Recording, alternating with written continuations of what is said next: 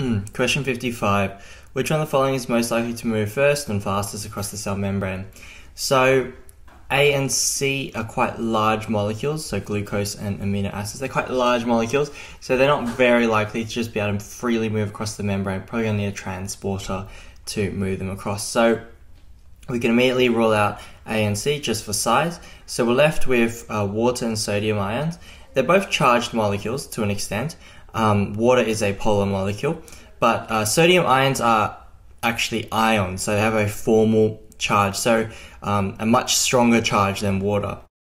So therefore, we probably wouldn't expect sodium ions to just be able to freely move across just because they have so much charge.